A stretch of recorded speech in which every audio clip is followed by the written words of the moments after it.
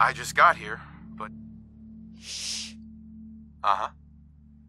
You hear that, Danny? You gonna open the gate and let us in, or are you gonna be the one talking to crazy Myrna about losing out on all the supply?